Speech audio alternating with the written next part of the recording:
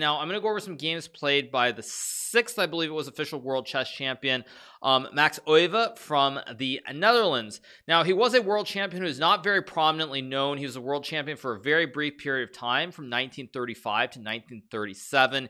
He um, he beat the defending world champion, Alexander Alekhine, in a match, 15 and a half to 14 and a half, in a 30 game match played across many cities in the Netherlands in 1935. More impressively, um, in the match, it started off with a win for Alekhine, win for Euwe, win for Alekhine, and um, at some point, I think it was five to two, if I'm not mistaken, with several draws. But Euwe would go on then to win win most of the rest of the games um, out of the decisive games that were left, and he did win the match 15 and a half, 14 and half to become the world champion. Now in the rematch, um, in 1937, Alexander Alekhine would beat him uh, by a very whopping and convincing score of, I believe it was 14 and a half to nine and a half. And um, so that that was his tenure as world champion was very short, but he was nonetheless um, nonetheless he was the world champion.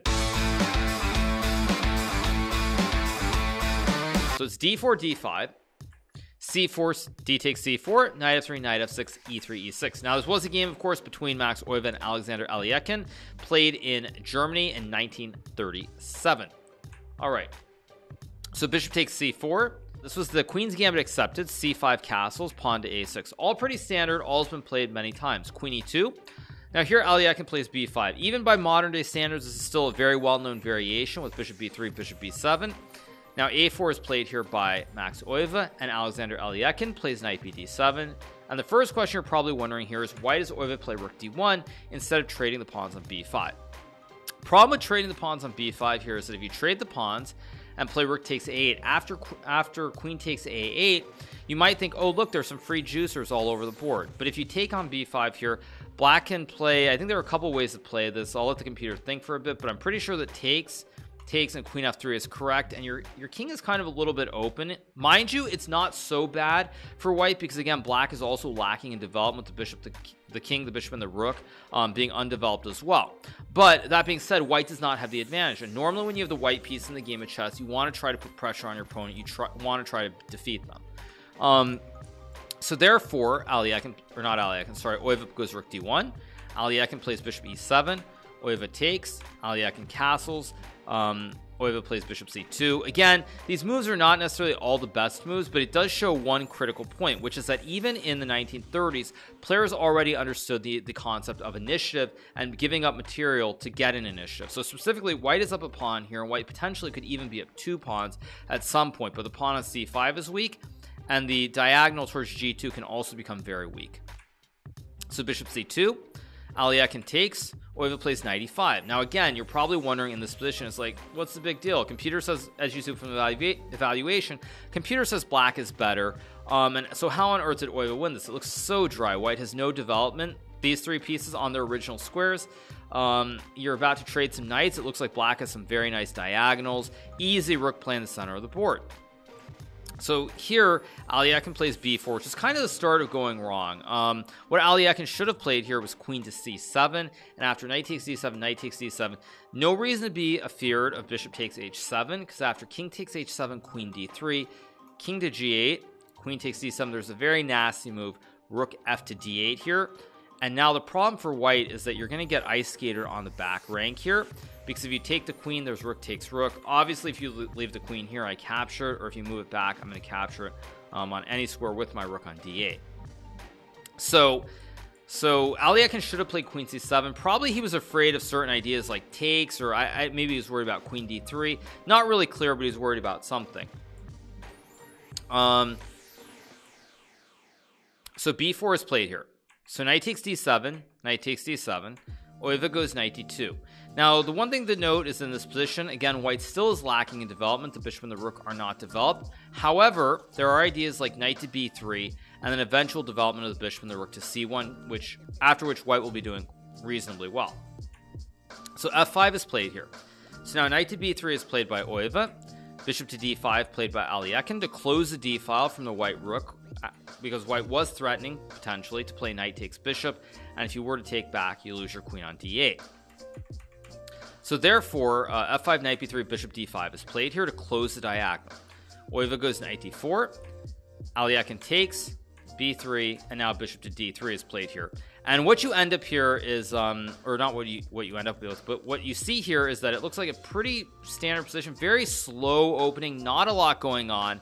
Um, but white has a very clear-cut idea of what what white of what to do here. So knight b8 is played by Alekhine again the knight on d7 is not great. He tries to reroute to c6 but this actually turns out to be one of the fatal fatal mistakes um of this game because after knight b8 bishop to c4 is played. Alekhine goes knight to c6 here. And now rook to d2 and what you'll notice here is you still probably think, well, look, the bishop on c1, rook on a1, undeveloped. Grandmaster Hikaru, he's told us, develop all your pieces. Castle King, develop all your pieces. So what is a world champion like Max Euwe doing here? Um, you know, not developing the rook, not developing the bishop, and black, of course, is very easy. Rook, rook maneuvers into the center of the board. But what happens here is that it's actually much better for white because what's going to happen is this bishop and this rook are going to come into the game very very quickly. Well black has kind of made a lot of weaknesses. He pushed the pawn to f5 he also has overextended this b pawn down to b3 and it's going to be very hard to defend the pawns. So queen b6 is played here why not take the bishop where? After knight c6 uh, if you were to take the bishop here black can actually capture your rook. And you can't take the pawn because the knight guards it and knight guards both pawns. But additionally the knight attacks the queen. So you're gonna have to take the knight and after queen takes bishop you have a rook and a bishop and black has two rooks here. Um so rook to d2 is played here. Alekhine plays queen b6 Euwe goes bishop takes bishop pawn takes and now he plays rook takes pawn knight b4 and now a really really important move. The best move in the position which is rook to d1 and the reason that this is so good um, as we'll see shortly is that white has a has a much better bishop on c1 than the black knight on b4 because the bishop is going to get to a very critical square and it will control a very critical diagonal in a couple of moves. So knight to c2 is played here. Why don't you trade the bishop as black? That's also a question. If you were to trade here white takes back. Now you have many problems. You have three things under attack and you can't guard all three of them here. Um so that's the main reason he didn't trade. So here rook d1 knight c2 rook b1 only move to save the rook. Queen to c6 attacking the pawn a4 so now white goes bishop to d2 queen takes a4 bishop to c3 and so we've reached a middle game position where you think well I mean it's even material both sides have the same number of pawns. But there is one thing and when eventually when I get to Bobby Fischer's games we'll probably go through games that are very similar to this in a way um, where you see that the bishop on c3 is much better than the knight on c2 and the reason for that is the knight is kind of stuck. It looks very pretty. It's it's uh it's it's it's a um it's a bastion here the pawn on b3 guards the knight but the knight can't go anywhere really. The only square the knight can go to is b4 these two squares are covered. This square is covered. This square is a capture. This square is a capture. So the knight looks really really good but it's actually not doing anything at all on c2 so now queen b5 is played here. Euwe goes queen f3 rook a d8 and now Euwe plays queen g3 important move again lining up the classic diagonal the battery and the right triangle as well all in one. Rook d7 is played here by Alekhine to guard the pawn from the checkmate and of course the queen guards the rook. So rook d6 is played here. Of course um Alekhine plays rook f7 He do not take the rook because then I ignore your rook and I create the checkmate. So rook f7 is played here.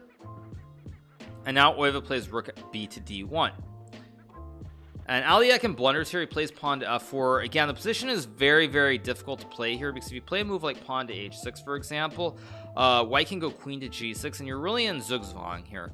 You have to deal with the fact that white is threatening to take on g7 you've dealt with the back rank checkmate ideas with rook d8 um, and also again your knight on c2 is doing absolutely nothing here. It's just it's off uh, it's it's out at the stable um, enjoying life. So Alekhine plays f4 pawn takes pawn a5 and now Euwe plays f5 another extremely good move here by the way because you create a, um, a checkmating pattern threat here. So if, let's say black takes on f5 you can now go rook takes rook rook takes rook. I believe it's queen b8 or is it rook d7 I think both orders work but let's let for for continuity white just trades the rooks. And now you go queen b8 king f7 you take the pawn with a check and now if black blocks you just take the knight because your bishop covers the e1 square. And if black moves the king you take the knight and the queen covers against the ice skater on d1 as well.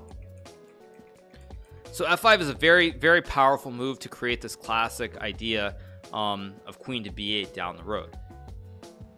So Alekhine plays a4 Idea being that again, two reasons. First of all, it stops this idea down the road of queen b8 takes b3 because the pawn supports it. Secondly, the other idea is to play a3 and try to create a passed pawn. I mean, you have two pawns here. The only way that you're going to save the game is if you can somehow create counterplay with these pawns on the queen side because obviously you're completely lost over here on the king side. Um, so a4 is played here. Now f6 is played here by Euwe. Alekhine plays g6. Euwe goes h4. Alekhine trades the rooks. Now again, if you play a3, the same same problem exists, which is white can trade the rooks, and you go check, king f7, queen b3. Same problem, and you lose the game. Um, so Alekhine trades. Euwe takes with the queen. Alekhine plays h5, and Euwe plays queen e6. A very very nice move here. Uh, and here Alekhine resigns in view of the fact that white can go rook to d8 check. And let's just say you go a3, rook d8 check, king h7, queen takes rook check, king h6, and now rook to h8 is checkmate.